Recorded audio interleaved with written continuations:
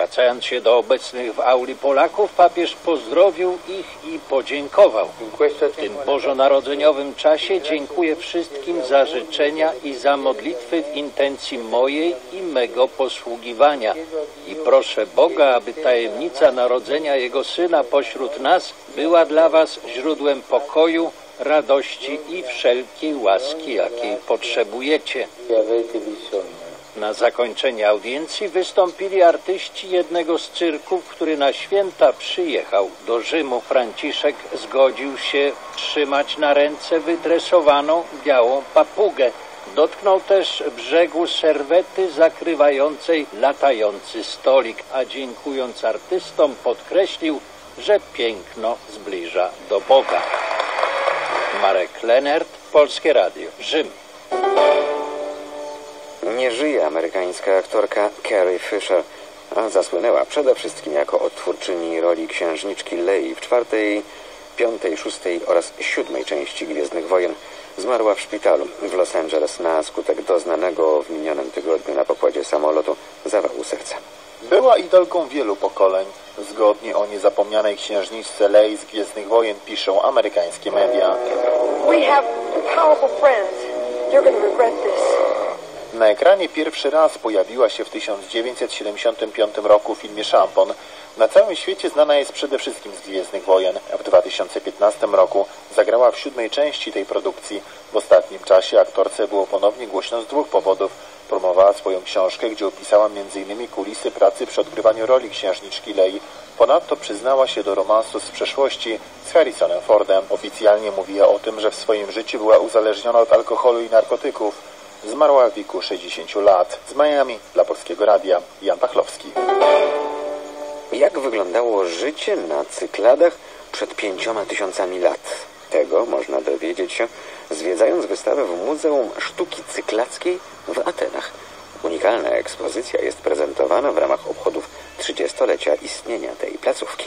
Wystawa pokazuje, jak wyglądało życie mieszkańców archipelagu Cyklady w odległej przeszłości. Informuje innymi o tym, jakie było ówczesne środowisko naturalne, czym zajmowali się wyspiarze, w co wierzyli, jaka hierarchia panowała na archipelagu, który znajduje się w południowo-zachodniej części Morza Egejskiego. Najbardziej znane dziś jego wyspy to Santorini, Mykonos, Delos, Andros, Naxos czy Paros. Organizatorzy ekspozycji podkreślają, że musieli rozszyfrować te informacje na podstawie znalezionych przedmiotów, bowiem nie istnieją żadne źródła pisemne z tamtego okresu. Dodają, że zależało im, aby pokazać najwcześniejszą sztukę z cyklat, które zazwyczaj są kojarzone z artystami XX i XXI wieku. Na wystawie prezentowanych jest dodatkowo prawie 140 obiektów zebranych z innych muzeów w całej Grecji, z Aten. Beata Kukiel-Wrajla, Polskie Radio. Wystawę Cyklackie Społeczeństwo 5000 lat temu można oglądać w Muzeum Ziemi Cyklackiej w Atenach do marca 2017 roku. Polskie Radio 24. 24 godziny w kraju. Za sprawą wichur w tym tygodniu elektrownie wiatrowe dały Polsce bardzo dużo energii. Zaspokoiły krajowe zapotrzebowanie na prąd w jednej trzeciej. To wynik wcześniej nieosiągalny, przypomina Bartłomiej Derski z portalu wysokienapięcie.pl.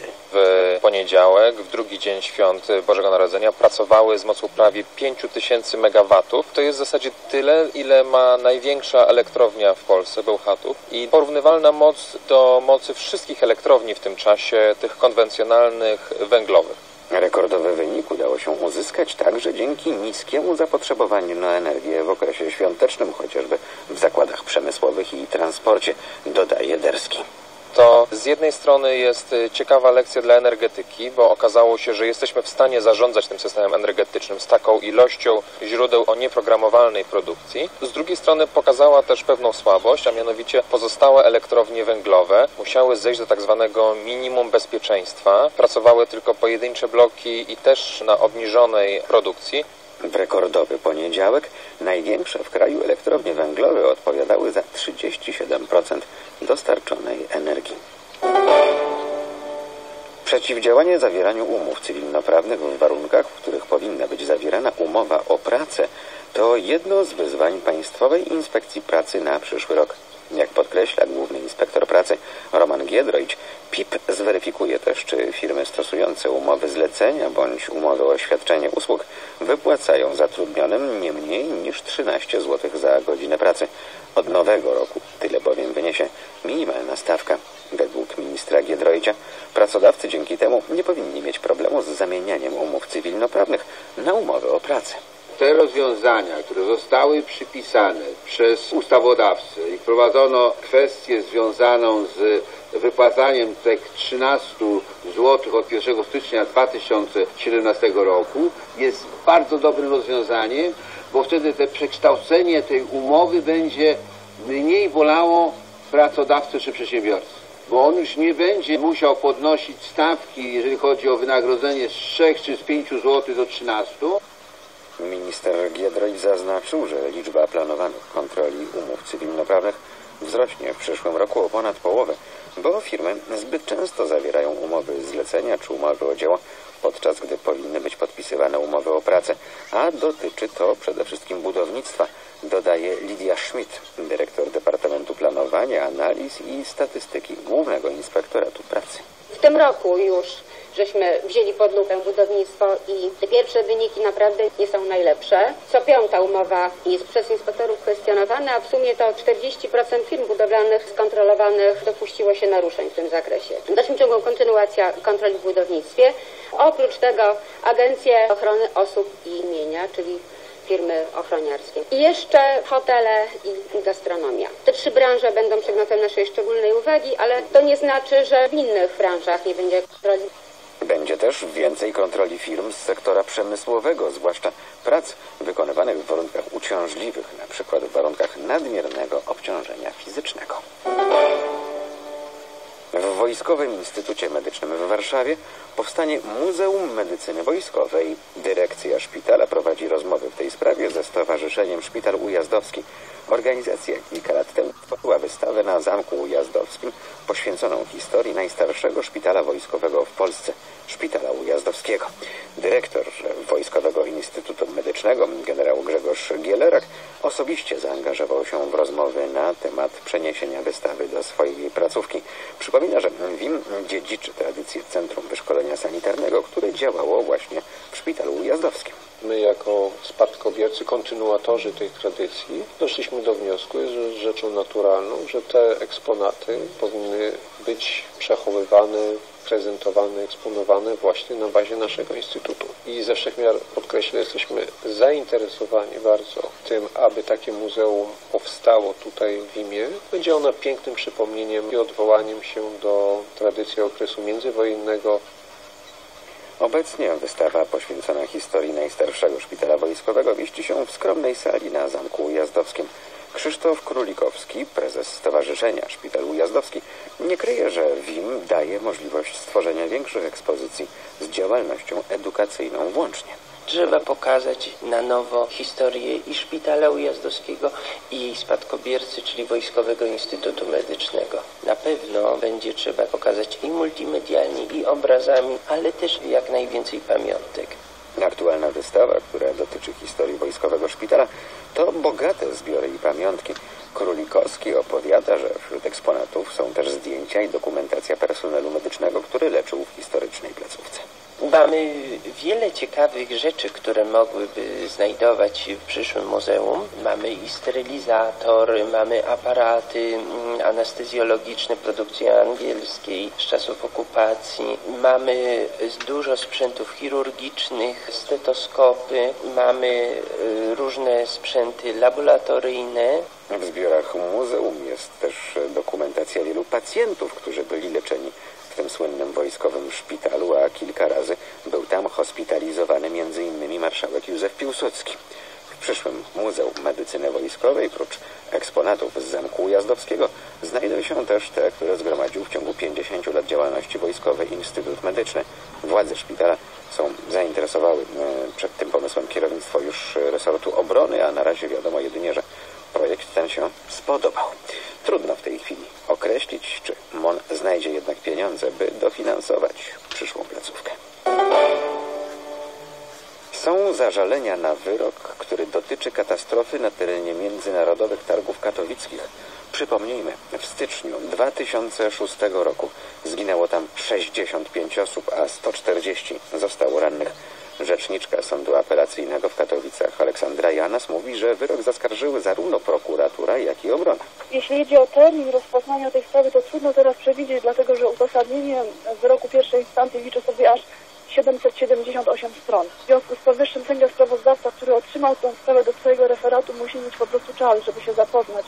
W czerwcu Sąd Okręgowy w Katowicach skazał na 10 lat więzienia projektanta hali MTK Jacka J., uznając go za winnego sprowadzenia katastrofy. Wyroki od 3 do 5 lat usłyszeli rzeczoznawca, inspektor nadzoru budowlanego i członkowie zarządu MTK. Z kolei wykonawcy hali zostali uniewinnieni.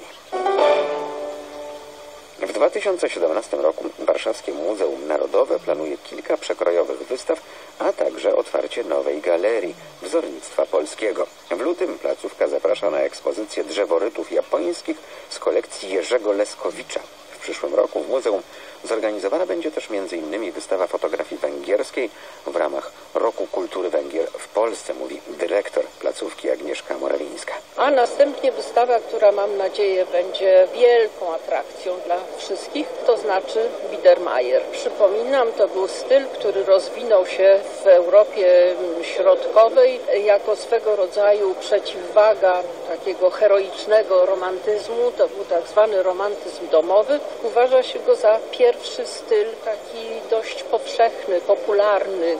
Morawińska dodała, że był to styl zarówno saloników mieszczańskich, jak i wyposażenia dworów. Popularny, bardzo mm, atrakcyjny i ponieważ nasza galeria malarstwa XIX wieku jest tylko galerią malarstwa, więc ta wystawa sztuki Biedermajeru, która znowu obejmie wszystkie gatunki, będzie przez moment chociaż łącznikiem między galerią sztuki dawnej i e, galerią wzornictwa nowoczesnego. Do 8 stycznia w muzeum można oglądać wystawę Życie wśród piękna, świat chińskiego uczonego. Sztuka z Chińskiego Muzeum Narodowego, a patronat nad tym właśnie wydarzeniem ma Polskie Radio. Kamienica przy ulicy Jagiellońskiej 28 na warszawskiej Pradze Północ odzyska dawny blask. Właśnie ogłoszono przetarg na jego gruntowną modernizację. Firmy mają czas do 5 stycznia na zgłaszanie swoich ofert. Burmistrz dzielnicy Dariusz Wolke przypomina, że kamienicę przed wojną fundował zamożny kupiec i filantrop Michał Bergson. To jest kamienica, która powstała w 1911 roku. Przed wojną były tam coś w rodzaju takiego domu opieki, przytułku. Od 1953 roku jest to Teatr Waj, czyli najstarszy teatr dla dzieci w ogóle w Polsce, który w ogóle powstał w 28 roku, ale na Pradze zagościł w tym budynku w 1953 roku. W kamienicy mieści się m.in. przedszkole, które na czas remontu zostanie przeniesione do pobliskiej podstawówki. Prace mają się rozpocząć po zakończeniu roku szkolnego i potrwają około dwóch lat. Wszystko finansowane jest z budżetu rewitalizacji Pragi, a budynek ten wpisany jest do rejestru zabytków. W Ostrowi Mazowieckiej powstanie Muzeum Dom Rodziny Pileckich. Umowy o współprowadzeniu projektu podpisali wicepremier, minister kultury i dziedzictwa narodowego Piotr Gliński oraz prezydent miasta Ostrów Mazowiecka Jerzy Bauer. Muzeum będzie się mieściło w domu rodzinnym Marii Ostrowskiej, żony rotmistrza Pileckiego. O tym, jak będzie wyglądało, mówi Witold Banach. Muzeum będzie miało do spełnienia kilka zadań, wyjaśnił minister kultury Piotr Gliński. Chcemy, żeby ta instytucja upamiętniała oczywiście postać rotmistrza Pileckiego, ale także, żeby upamiętniała to, co się w mieście, w Ostrowi i w okolicach działo w czasie wojny, bo to był dość szczególny rejon, bardzo aktywny, zarówno jeżeli chodzi o funkcjonowanie polskiego podziemia w czasie II wojny światowej, jak i podziemia niepodległościowego po wojnie, a także bardzo ważna jest kwestia upamiętniania pomocy miejscowej ludności w przechowywaniu prześladowanych przez niemieckiego okupanta Żydów. Te wszystkie elementy będą obecne w tym muzeum. A prezydent Ostrowi Mazowieckiej Jerzy Bauer tłumaczył, że muzeum poświęcone Witoldowi Pileckiemu będzie uniwersalną placówką ukazującą walkę człowieka o dobro. To, że zetknął się w sposób tak straszliwy z dwoma totalitaryzmami, wymaga od nas ukazania tej postaci jako człowieka zmagającego się po prostu ze złem o dobro. I to, że jego małżonka pochodziła z Ostrowi i że w Ostrowi brał ślub z Marią Ostrowską, to pozwala nam właśnie łączyć lokalność z tym ponadczasowym i ponadnarodowym wyzwaniem, jakim jest po prostu stawianie oporu złu. Więc w koncepcji muzeum będzie realizowana ta właśnie próba połączenia lokalności i ponad lokalności bohaterowie jako ludzie zawsze pokazują sprawy, z którymi zmaga się no, każdy człowiek, gdziekolwiek by nie był. Wiceminister kultury Magdalena Gawin, jedna z pomysłodawczyń powstania Muzeum Rodziny Pileckich, wyjaśniała, że w placówce powstanie kilka wystaw tematycznych. Na pewno będzie cały dział poświęcony rotmistrzowi Pileckiemu, jego rodzinnemu domowi, działalności niepodległościowej, jego całej młodości i działalności już potem jako człowieka dorosłego. Wyobrażam sobie, że ten drugi pokój będzie poświęcony Marii Ostrowskiej, który będzie mocno osadzony w historii tego miasta, który będzie pokazywał też przede wszystkim, jak to miasto unowocześniło się w latach międzywojennych. W muzeum znajdzie się też dokumentacja tragedii ludności Ostrowi oraz jej okolic. Tam ludzie byli tak przyzwyczajeni do terroru w czasie wojny i po wojnie, że w zasadzie traktowało się to w taki naturalny sposób. Istnieją setki przesłuchań świadectw przed Główną Komisją Badania Zbrodni Hitlerowskich, a potem już jak powstawał IPN, także ci ludzie składali zeznania. Więc przede wszystkim postaramy się to pokazać w sposób taki, żeby zwiedzający mogli się utożsamić z tymi ludźmi. To jest bardzo ważne, żeby oni pomyśleli, że to, co spotkało tam tych ludzi, mogło spotkać także i nasze rodziny. Tak się po prostu złożyło. To było miasto bardzo ważne ponadgraniczne. To było miasto położone do 1941 roku pomiędzy Związkiem Radzieckim a Niemcami. Ministerstwo Kultury przeznaczy milion złotych na funkcjonowanie placówki oraz 3 miliony 300 tysięcy złotych na remont domu Pileckich. Witold Pilecki był między innymi żołnierzem Armii Krajowej. Na ochotnika dał się uwięzić w niemieckim obozie Auschwitz, gdzie współorganizował ruch oporu i tworzył raporty o Holokauście.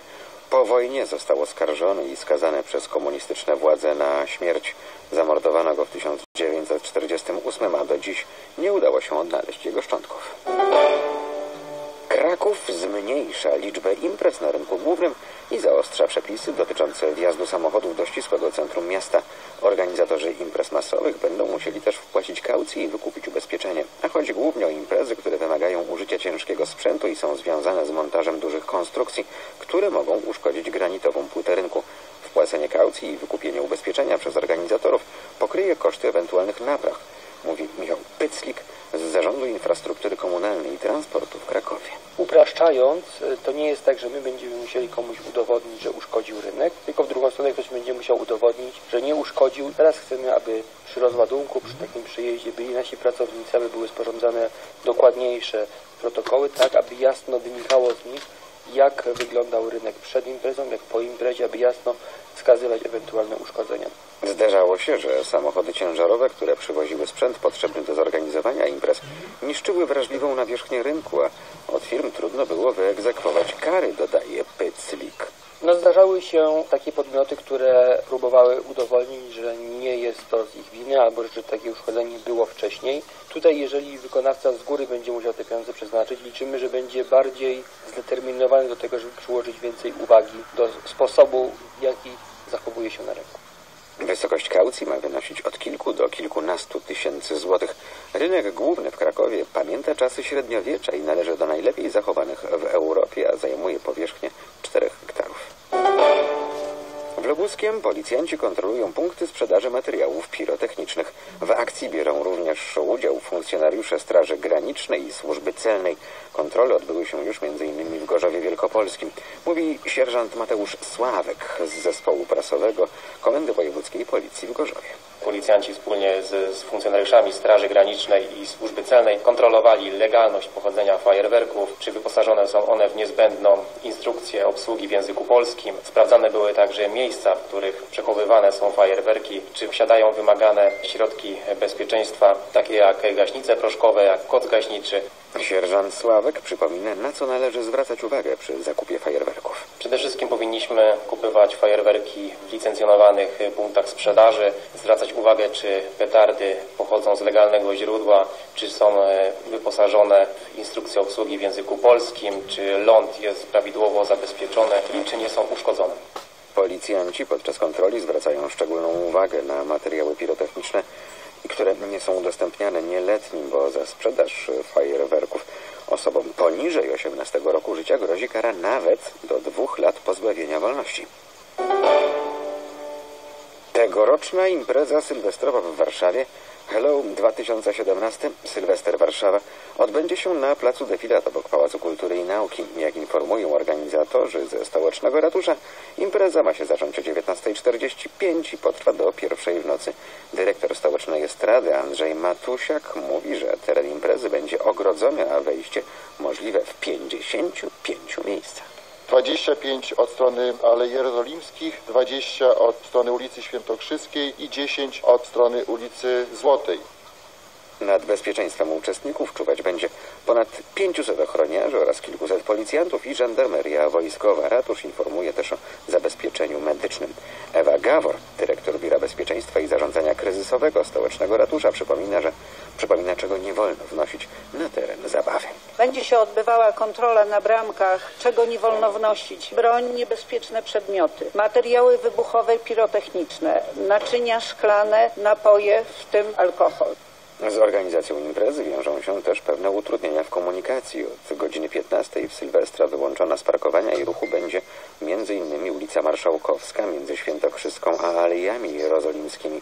Wznowienie ruchu nastąpi 1 stycznia od 6 nad ranem. Wiesław Witek, dyrektor Zarządu Transportu Miejskiego, dodaje, że wyłączona z ruchu będzie stacja metra Centrum, ale zwiększy się częstotliwość kursowania pociągów. Od 20 do godziny 1.30 będzie jeździło z częstotliwością co 3 minuty na pierwszej linii metra, jak również na drugiej linii metra, gdzie częstotliwość będzie 5-minutowa. Jak zapewniają organizatorzy, podczas koncertów wystąpią największe polskie gwiazdy, czyli m.in. Agnieszka Chylińska, Lady Punk czy Lemon. A punktem kulminacyjnym imprezy będzie 4-minutowy pokaz fajerwerków. 24 godziny w Polsce i na świecie. Autopromocja. Polskie Radio 24. Pieniądze, inwestycje, podatki, rynek pracy. Komentarze, opinie, analizy, dyskusje. Puls gospodarki od poniedziałku do piątku o 10.15. Autopromocja.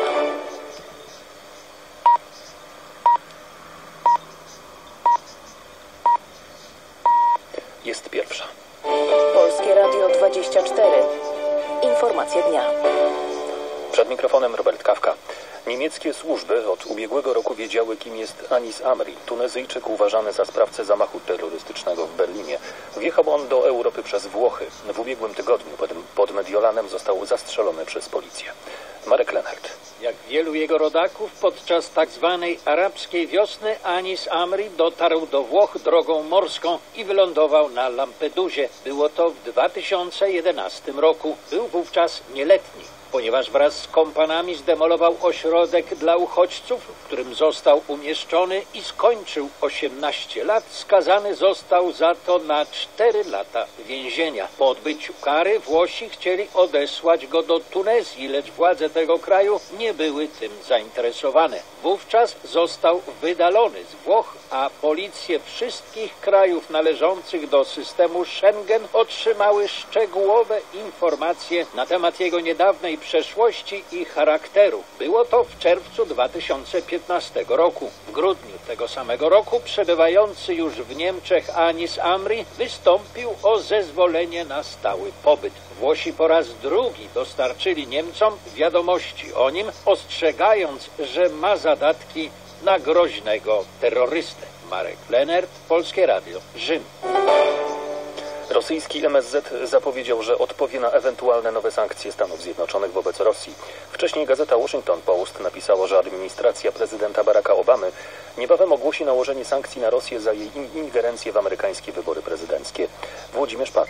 Maria Zacharowa, rzeczniczka MSZ Rosji, zapowiedziała, że jeśli Waszyngton podejmie nowe wrogie kroki, to dostanie na nie odpowiedź. To dotyczy wszelkich działań przeciwko rosyjskim przedstawicielstwom dyplomatycznym w Stanach Zjednoczonych. Natychmiast odbiją się one rykoszetem na amerykańskich dyplomatach w Rosji. Czytamy w oświadczeniu rzeczniczki. Maria Zacharowa napisała też, że być może administracji Baracka Obamy jest już całkowicie obojętne, co będzie z dwustronnymi relacjami, ale wątpliwe, by historia darowała jej zachowanie się według zasady po nas choćby potop. Zacharowa stwierdziła, że Moskwa jest już zmęczona, jak to określiła, z powodu kłamstw o rosyjskich hakerach. Jej zdaniem odchodząca administracja Stanów Zjednoczonych nadal ma nadzieję, że zdąży jeszcze uczynić coś złego dla relacji z Rosją. Włodzimierz Pac, Polskie Radio. Elektroniczne dowody tożsamości i nowe miejsca dla uchodźców to część planu, jaki przedstawił grecki minister do spraw migracji Janis Muzalas. Minister zapowiedział też zmianę sposobu, w jaki żywieni będą migranci. Z Aten Beata Kukiel-Wrajla. Karty elektroniczne, które mają zostać wprowadzone w kwietniu przyszłego roku, zastąpią pozwolenia na pobyt dla migrantów w Grecji. Ma to m.in. zapobiec fałszowaniu dokumentów. Do Wielkanocy ma się też zakończyć pełna rejestracja wszystkich migrantów. Elektroniczne karty otrzymają z czasem także te osoby, których sytuacja prawna jest nieuregulowana. Dokumenty te będą zawierać ich adresy i aktualny status prawny. Ministerstwo planuje też zaprzestanie żywienia migrantów w ośrodkach. Zamiast gotowych posiłków otrzymywali by oni na nie pieniądze. W miejscach, gdzie przebywają, mają zostać zainstalowane kuchnie, aby mogli sami gotować. Z kolei na greckich wyspach, gdzie jest nadmierna liczba migrantów, mają powstać dla nich nowe miejsca noclegowe. Z Aten, Beata Kukiel-Wrajla, Polskie Radio. Na greckich wyspach na Morzu Egejskim przebywa obecnie ponad 11 tysięcy migrantów. W całej Grecji jest ich ponad 62 tysiące. Do końca grudnia w blisko 20 miastach Polski potrwa społeczna akcja Podzielmy się posiłkiem z bezdomnymi. Już po raz czwarty dla osób potrzebujących zbierana jest żywność, która pozostała w naszych domach po świętach. Organizatorka akcji Maria Skołżyńska wyjaśnia, że chęć przekazania jedzenia w wybranych miastach należy zgłaszać przez stronę internetową podzielmy się.pl lub Facebooka akcji. We wskazane miejsce przyjedzie wolontariusz, który odbierze od nas żywność. Wiele osób pyta się, jakie jedzenie można oddawać i odpowiedź zawsze brzmi każdą ilość. Ważne, żeby to jedzenie było świeże. To znaczy takie, które następnego dnia bylibyśmy w stanie dać naszym ukochanym. Jest sposób na to, żeby uniknąć nadmiernej ilości jedzenia, które często marnujemy, podkreśla prezes Federacji Polskich Banków Żywności Marek Borowski. Warto się zastanowić, jak się przygotować do zakupów i jak przygotować się do Sylwestra, zaplanować ile osób u nas będzie, ile każda z tych osób jest w stanie zjeść. Raczej też proponowałbym, żebyśmy przygotowywali małe porcje zamiast dużych. Według europejskich statystyk konsumenci w Polsce rocznie marnują około 2 milionów ton jedzenia. Magdalena Kowalewska, Polskie Radio. Społeczna akcja Podzielmy się posiłkiem z bezdomnymi organizowana jest m.in. w Warszawie, Wrocławiu, Krakowie i Trójmieście. Prognoza pogody. W nocy zachmurzenie umiarkowane i duże, lokalnie rozpogodzenia, głównie w centrum. Na wschodzie miejscami opady śniegu, na zachodzie mgły ograniczające widzialność do 100 metrów. Temperatura od minus 7 w Dolinach Karpackich przez minus 5 na Suwalszczyźnie, minus 3 w centrum do plus 1 na Wybrzeżu. Wiatr słaby i umiarkowany, wysoko w górach porywisty. Polskie Radio 24. Słowem wszystko. 5,5 minuty po pierwszej, teraz w Polskim Radiu 24 Jakub Kukla i jego gość. Polskie Radio 24. Powtórka programu. Gość Polskiego Radia 24. W naszym studiu Wojciech Kreft, ekspert do spraw rynku pracy, psycholog i doradca zawodowy. Dzień dobry. Dzień dobry. Kończy się rok, mnożą się różnego rodzaju podsumowania, a to polityka parlamentarna, a to polityka zagraniczna, sytuacja w Europie, na świecie itd., itd. Korzystając z okazji, że w naszym studiu pojawił się ekspert do spraw rynku pracy, rozpocznijmy nieoryginalnie od podsumowań właśnie, jaki to był rok, e, jeśli chodzi o zmiany, trendy na rynku pracy rok 2016. Myślę, że z punktu widzenia pracowników y, to był dobry rok, dlatego że, że rynek pracy w naszym kraju również staje się rynkiem pracownika i znaczy to, że jest więcej ofert pracy, e, są one ciekawsze, w tym sensie, że mm, lepsze wynagrodzenia, lepsze warunki pracy. E, I dotyczy to nie tylko zawodów informatycznych, ale wielu, wielu innych. E, I też jak gdyby tą pracę łatwiej znaleźć, ale też ten szacunek pracodawcy jest strasznie ważny do, do, dla swojego pracownika. Fakt, że zaczyna się mówić o rynku pracownika nie jest formułką li tylko. To są fakty. To są fakty. To są naprawdę fakty, tak. A, I nie jest też tak, jak było onegdaj. To jest z kolei dla mnie dobra wiadomość, że e, tylko e, liczy się ten wiek e, bardzo młody. Nastąpił powrót do doświadczonych pracowników, również oni są też doceniani z racji swojego doświadczenia i wiedzy. E, Także te zmiany w tym kierunku, ja bym powiedział, że są bardzo pozytywne. Z racji doświadczenia i wiedzy, ale też być może poniekąd z faktu, że ci młodsi y, pracują bardzo często na przykład w Wielkiej Brytanii albo w Niemczech. No tak, Sporo, ale- sporo młodych ludzi w ostatnich latach wyjechało z Polski. Sporo wyjechało, ale nadal, y, tak podsumowując, patrząc na ten rok, to poziom bezrobocia w tej grupie jednak młodych ludzi 25-35 jest nadal dwa razy większy niż, niż y, dla osób starszych. Nadal jednak. Mhm. Chociaż możemy się pocieszać, że to nie to, co w krajach południa. No ale to oczywiście marna pociecha. Jeśli chodzi o przeszłość, tutaj postawmy kropkę. Rok 2016 prawie za nami. Z punktu widzenia pracowników to był rok całkiem niezły. Prognozy, myślę, na przyszłość też są niezłe. A my chcemy porozmawiać o prognozach dotyczących nie tyle roku 2017, tylko nieco bardziej odległej y, przyszłości. A punktem wyjścia do naszej rozmowy jest tajny raport napisany dla prezydenta, dla prezydenta Stanów Zjednoczonych. Raport pod tytułem w wolnym tłumaczeniu y, Sztuczna inteligencja, automatyzacja, a ekonomia. Czyli w skrócie, jak nowe technologie, jak sztuczna, sztuczna inteligencja wpłynie na rynek pracy. Dokładnie tak, dokładnie tak. Y, Mówi się od pewnego czasu, że wchodzimy w czas czwartej rewolucji przemysłowej, tak? Wszyscy zastanawiają się, czym ona tak naprawdę jest E, i bardzo wiele osób mówi, że to jest czas właśnie sztucznej inteligencji. Czy to jest czas, kiedy nie infrastruktura cyfrowa się liczy, a content, czyli to, co jest w środku, oprogramowanie, oprogramowanie, które coraz częściej ma takie cechy inteligentne, więc zaczynamy je nazywać y, sztuczną inteligencją. E, I ten raport myślę to potwierdza. On jest potwierdzeniem tego, że największa gospodarka świata zaczyna się zastanawiać, co będzie się działo. I tego wyrazem jest tego, ten, ten raport. Pytanie, czy cały czas jeszcze nie większa, bo Chińczycy depczą Amerykanom po piętach i to pytanie, kto jest na pierwszym miejscu podium, cały czas e, dyskusyjne. A jeśli chodzi o wspomniany raport, powstał po to, żeby nie obudzić się za późno? Żeby uprzedzić bieg wypadków? Tak, tak, na pewno tak, dlatego że proces przygotowania się do tych zmian jest, jest nieco dłuższy, dlatego że obejmuje również czy przede wszystkim edukację, przygotowanie za- zarówno młodych ludzi, jak i istniejące zasoby na rynku pracy do, do tych zmian. I e, ponieważ same zmiany następują coraz szybciej, to jest też ten trend, który, e, który daje się zauważyć, że, że wprowadzanie nowych technologii, nowych zmian e, w gospodarce następuje zdecydowanie coraz szybciej. E, nie wiem, czy, czy, czy, czy słyszał Pan, że e, sam fakt, że ostatnio sztuczna inteligencja wygrała w Go, nastąpił 10 lat wcześniej niż planowano. Wszystko przyspiesza i bardzo łatwo zaspać w tym kontekście, prawda? Wystarczy chwila nieuwagi i jesteśmy w tyle. Tak. E, W tym raporcie jest bardzo e, ciekawy przykład, znaczy taki najbardziej sztandarowy przykład i myślę mm, uprzytomniający nam te, te, te zagrożenia dotyczący branży e, kierowców zawodowych, branży transportu, która jest jednak no, strasznie ważną dziedziną gospodarki. I ten raport pokazuje konkretne zmiany, konkretne zagrożenia, właściwie nie zagrożenia. Nie nazywa już tego nawet zagrożeniami, tylko nazywa to procesami, które będą się działy.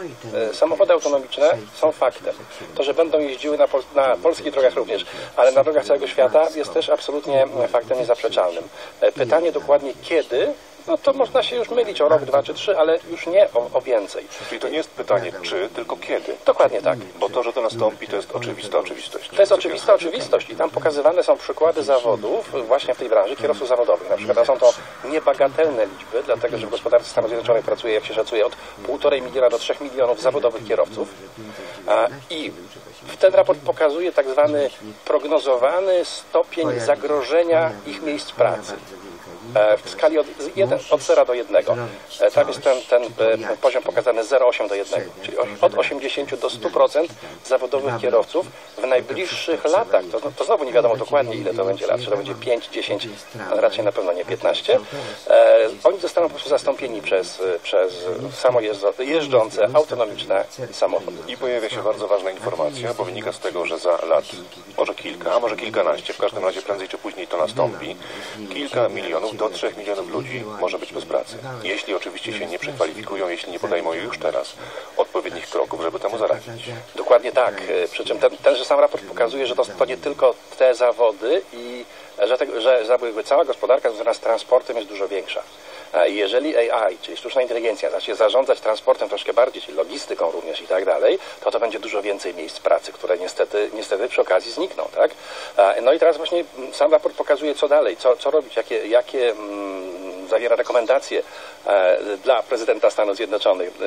E, e, No, no, rekomendacja pierwsza jest, jest podstawowa. Inwestować w AI, to jest absolutnie tak, dlatego że pozytyw... AI, czyli w czyli sztuczną sztuczną inteligencję. tak, sztuczną inteligencję. E, należy inwestować w rozwój em, tego sektora, tego rodzaju działań, ale z drugiej strony przygotowywać siły e, robocze, siły pracy ludzi po prostu, krótko mówiąc, tak, na te zmiany, czyli przekwalifikowania, przygotowanie do przekwalifikowania do zmiany zawodów, chociażby kierowców, tak. Jeszcze przed kilkunastoma laty mówiło się o tym, że być może taki moment nastąpi, kiedy to roboty czy sztuczna inteligencja, mówiąc nieco e, szerzej, przejmą wiele obowiązków ludzi i pytanie, co później stanie się e, z rynkiem pracy jak to wpłynie na rynek pracy. Teraz powstają już konkretne raporty, w których te tezy nie są kwalifikowane jako science fiction, tylko jako rzeczywistość nasza tu i teraz. No, tak, i dotyczy to coraz większej gamy zawodów. To, co jest charakterystyczne dla tych zmian, które zaszły w tym roku w, w myśleniu o trendach na przyszły rok i następne lata, to jest to, że nie tylko e, niebieskie kołnierzyki są zagrożone przez roboty, ale białe kołnierzyki są zagrożone przez roboty. Czyli zawody wykonywane przez ludzi z wyższym wykształceniem, które wydawało się są niezastąpialni. Tak?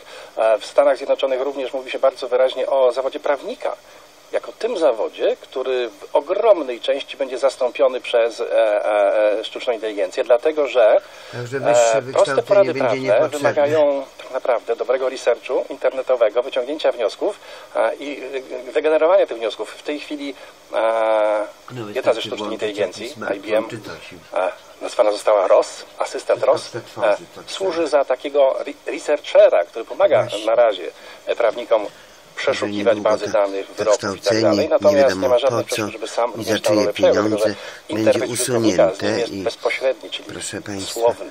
Rozmawiamy tak nam jakbyśmy rozmawiali z wszystko prawnikiem. rozwiążą. Możemy mu zadać pytanie, ile grozi mi za coś tam, tak? Albo jak mam się wywinąć z tej sprawy. No dobrze, to jest ciekawy przykład, tyle, że można zapytać na ile sztuczna inteligencja, nawet jeśli w, researchu, w przeszukiwaniu zasobów informacji jest w stanie pokonać każdego człowieka, jest w stanie wychwycić różnicę między literą a duchem prawa. No, na pewno jest to najtrudniejszy element, do którego dopiero trzeba będzie dojść y, i dlatego, dlatego raporty zostawiają te 10%. Mówi się, że 10% tych najlepszych prawników jest niezagrożonych. Natomiast no, cała rzesza, cała rzesza tych radców prawnych, którzy odpowiadają na proste pytania, no, no niestety może poczuć się, może poczuć się zagrożona. Ale to, to naprawdę jest, jest ogromna gama bardzo różnych, bardzo różnych zawodów. E, To, co dla mnie było szczególnie zatrważające, jak przeglądałem ten raport y, świeżutki sprzed tygodnia dla, dla, dla prezydenta Stanów Zjednoczonych, mm, to był taki moment, kiedy mówiło się o zapobieganiu, tak? co, co trzeba zrobić, żeby, żeby zapobiec tym negatywnym skutkom e, zmian na rynku pracy. No to oczywiście zabezpieczenia społeczne, e, przygotować ludzi do, do, do zmiany zawodów, no i coś, co było miłe, miałem u serca, jak zacząłem czytać, no doradztwo zawodowe, tak? no, trzeba zwiększyć ilość doradców, osób, które są tymi doradcami edukacyjnymi, którzy pokażą ścieżki edukacyjne, nowe ścieżki edukacyjne na podstawie Twoich zainteresowań, e, kompetencji i tak. I na końcu takie zdanie. No a ogromną część tych zadań właściwie to może wykonywać sztuczna inteligencja. No i to cios normalnie w samo serce, tak? Ale taka jest prawda. Trochę mnie dziwi, że pan jest przerażony, bo wydawało mi się, że kto jak kto, ale doradcy zawodowi zdają sobie sprawę z tych właśnie trendów i właściwie nic pana w tym raporcie nie zaskoczy. Nie, nie, co innego zdawać sobie sprawę. Ja de facto ćwierć wieku pracowałem w czymś takim jak informatyzacja doradztwa zawodowego i, i nie powinno mnie zaskoczyć, ale co innego jakby stwierdzić Zobaczyć fakt, zobaczyć na, na własne oczy, że to się dzieje i będzie działo jeszcze bardziej. Y, Wracając na chwilę jeszcze do raportu, wspomnieliśmy o dwóch grupach zawodowych, które mogą, trzech właściwie, bo doradcy zawodowi oprócz kierowców i oprócz prawników mogą czuć się poniekąd zagrożeni. Kto jeszcze jest wymieniony z nazwiska w raporcie?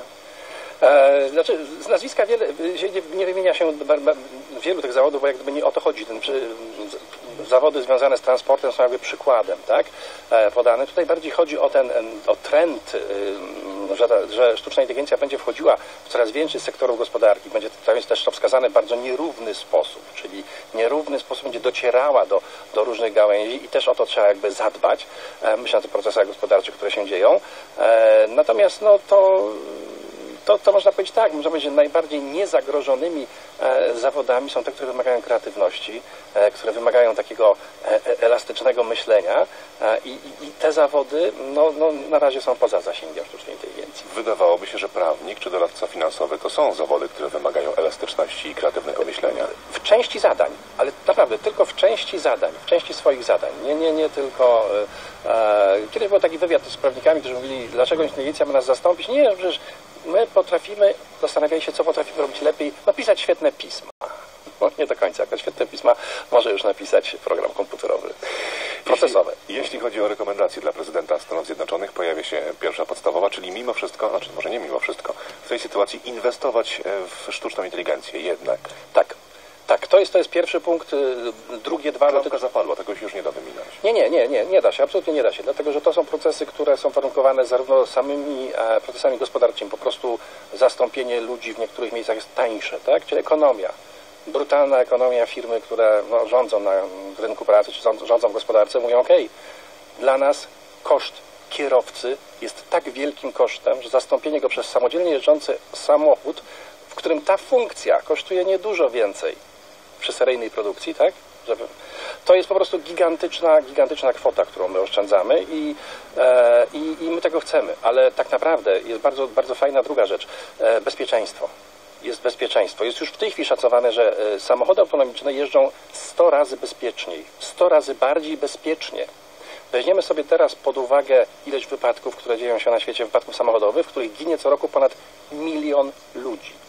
Co roku na świecie ginie ponad milion ludzi w wypadkach samochodowych. E, 100 razy oznacza, że, że, że zginie naprawdę, zamiast miliona ludzi, zginie nam 10 tysięcy. Wojciech Kreft, ekspert do spraw rynku pracy, psychologii, doradca zawodowy. Polskie Radio 24. Powtórka programu. W Polskim Radiu 24. Debata poranka.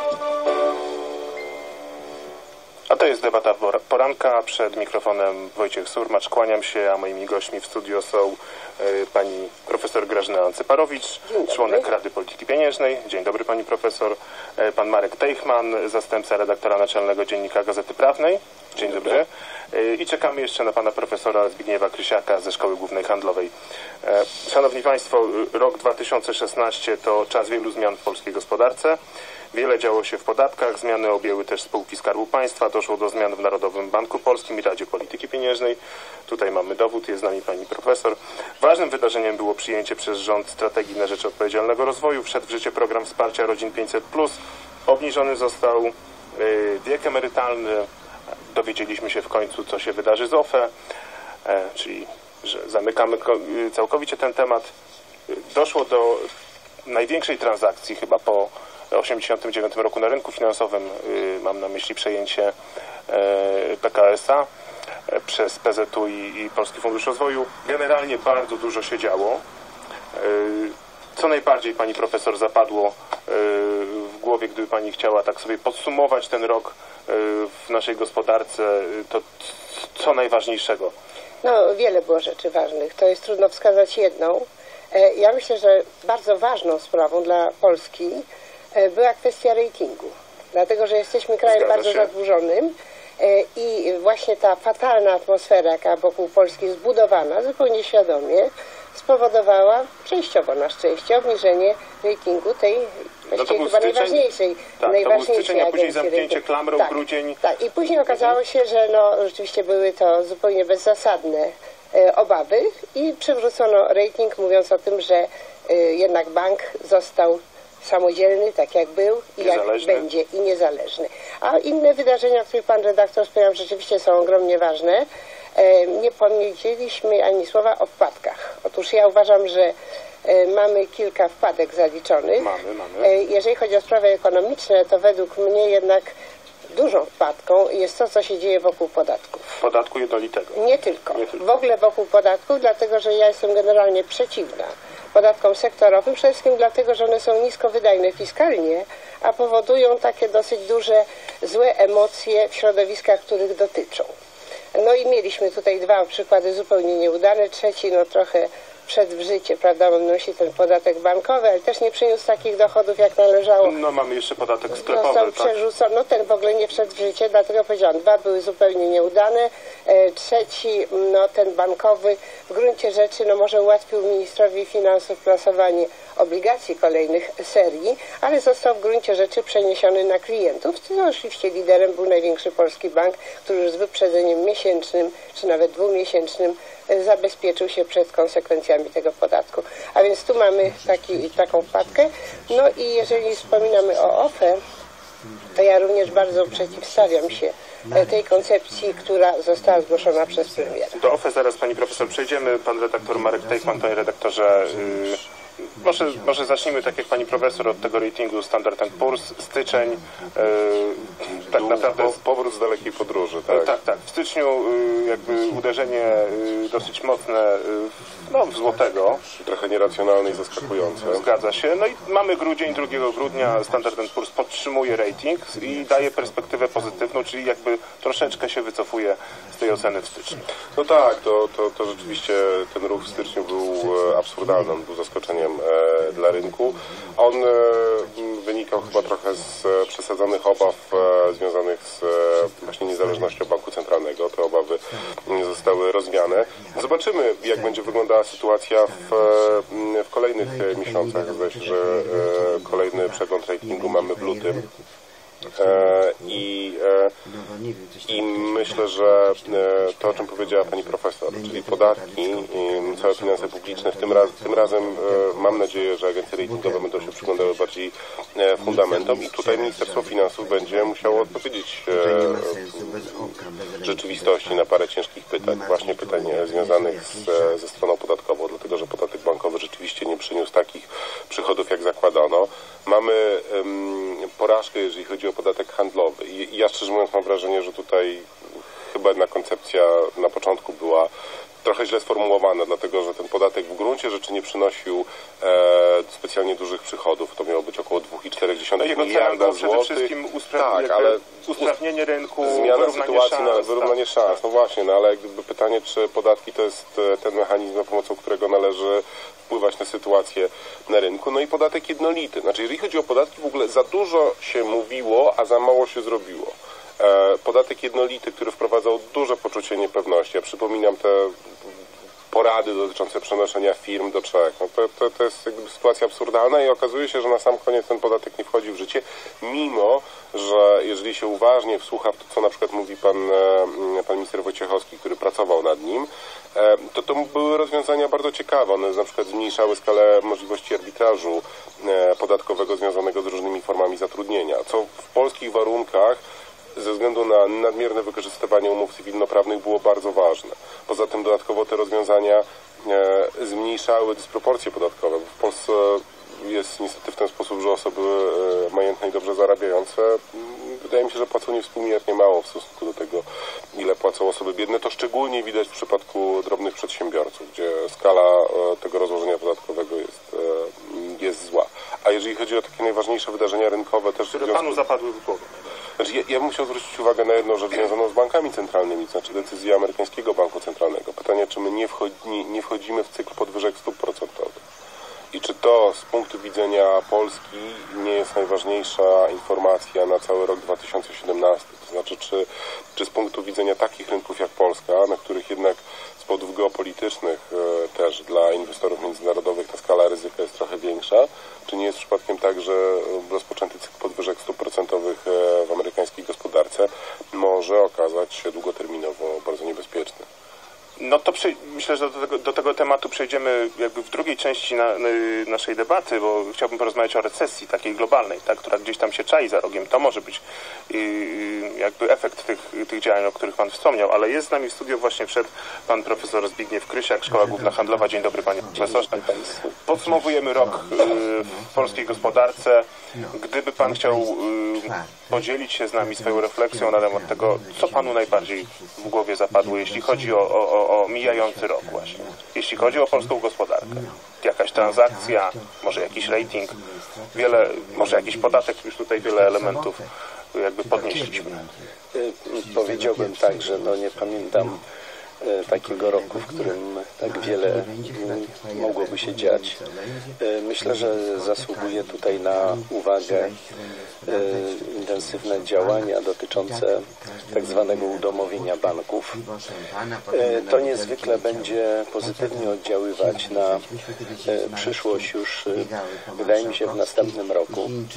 E, Kolejna rzecz, wydaje mi się, podjęte działania e, przez e, premiera Mazo- e, Morawieckiego dotyczące e, tych e, jakby spraw wokół przedsiębiorstw, ta, tak, zwanej, tak zwanej konstytucji dla biznesu.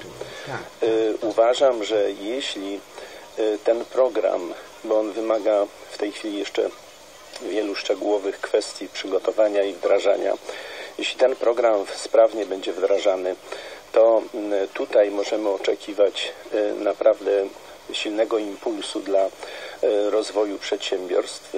Ja zresztą miałem okazję przysłuchiwać się e, na kongresie 590 właśnie e, wypowiedziom przedsiębiorców z różnych branż, o różnej skali.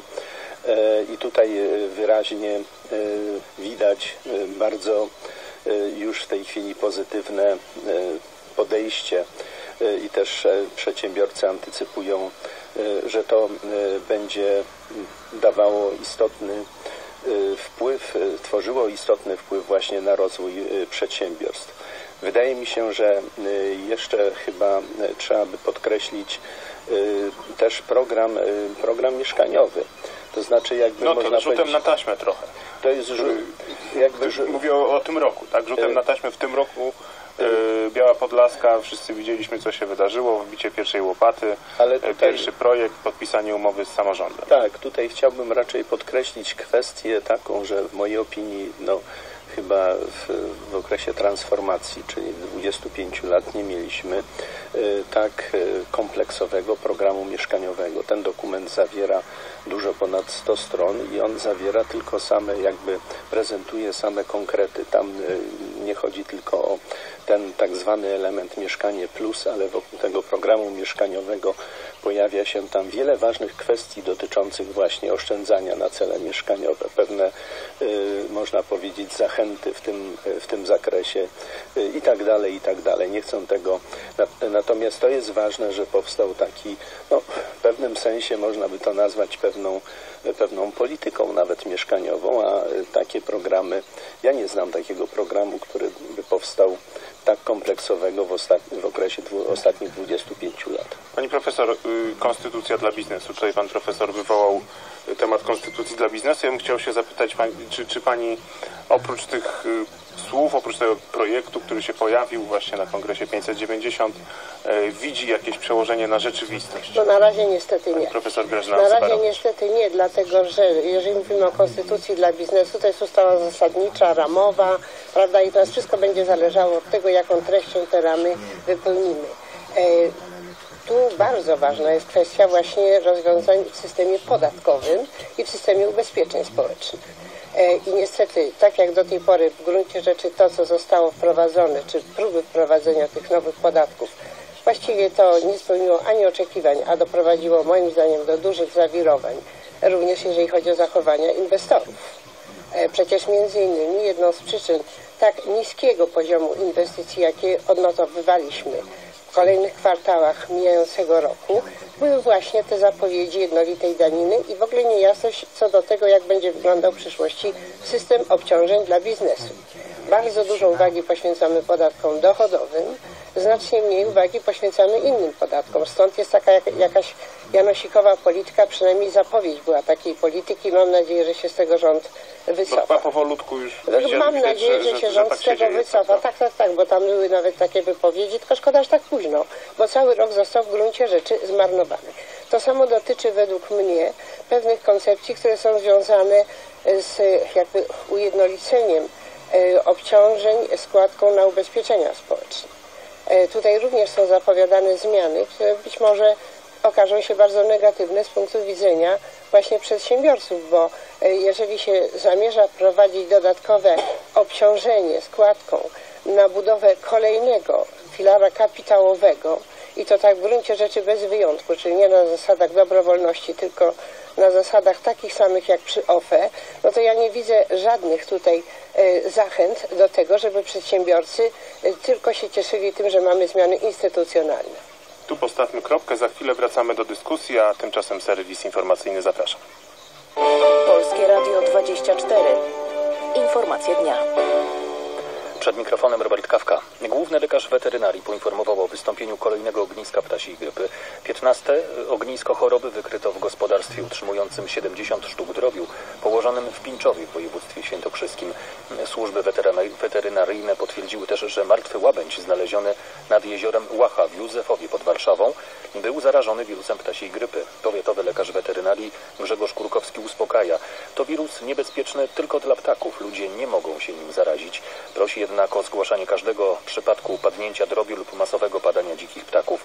Wydał też rozporządzenie, w którym informuje, jak się zachować, by uniknąć rozprzestrzeniania się choroby. Zabezpieczenie paszy dla zwierząt przed dostępem ptaków dzikich, stosowanie w gospodarstwie odzieży ochronnej, czyli zabezpieczenie przeciwepizotyczne, to takie podstawowe, niewypuszczanie zwierząt i karmienie na zewnątrz, zgłaszanie miejsc, w których przebywa drób powiatowemu lekarzowi, Rozporządzenie obowiązuje do odwołania na terenie całego Józefowa. To pierwszy przypadek ptasiej grypy na Mazowszu.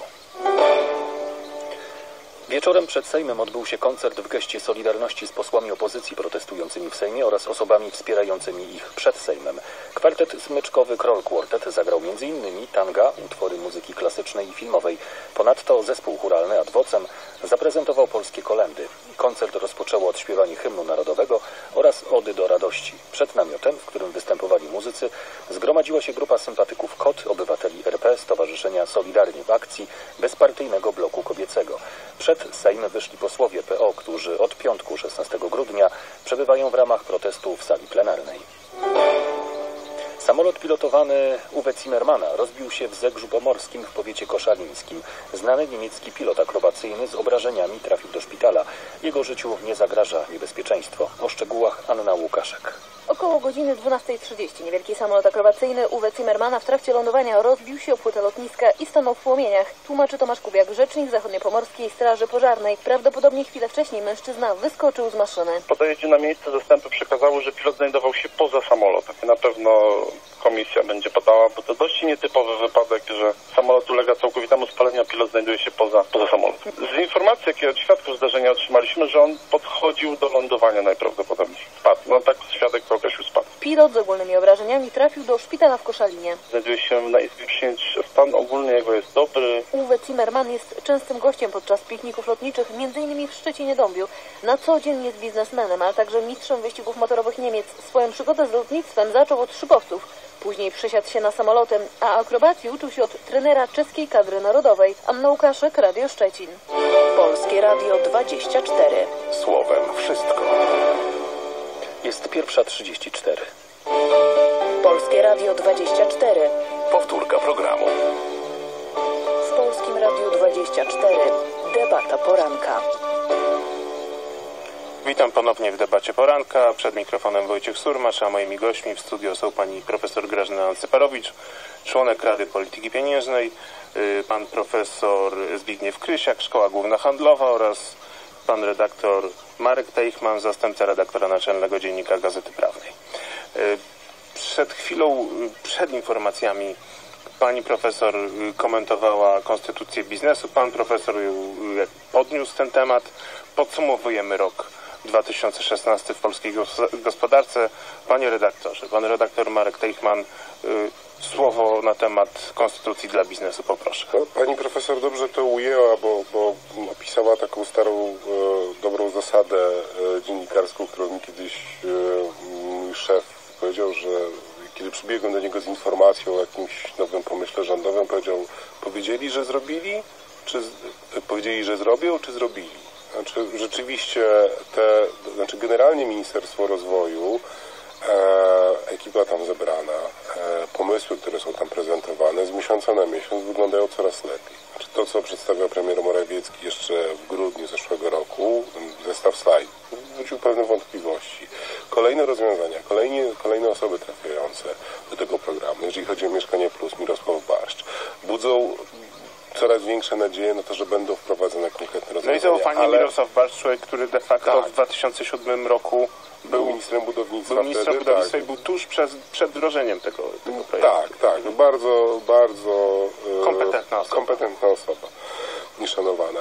Ale rzeczywiście e, tych projektów ułatwień życia dla przedsiębiorców w Polsce m, było sporo dotychczas, przez 27 lat. I mm, niech on, ten, niech ten projekt wejdzie w życie i niech zostanie jeszcze zrealizowany przez administrację skarbową, bo tutaj jest podstawowy problem. A dodatkowo jeszcze, znaczy niepewność podatkowa jest na pewno dużym wyzwaniem dla przedsiębiorców, a jeszcze dodatkowa rzecz, która jest bardzo istotna i która myślę, że będzie tematem roku 2017, to jest reforma sądów powszechnych. Dlatego, że my ciągle czekamy na szczegóły tej reformy sądów powszechnych, a polscy przedsiębiorcy mają olbrzymie problemy z egzekucją należności, e, doczekaniem się na wyrok. Polscy pracownicy, którzy chcą uzyskać e, e, na przykład pensję za nadgodziny. To, to, to jest problem. Znaczy polski No to już jest ukłon w stronę ministra sprawiedliwości. To jest ukłon w stronę ministra sprawiedliwości. My ciągle nie zobaczyliśmy szczegółów tej ustawy o reformie sądów powszechnych. Wyciek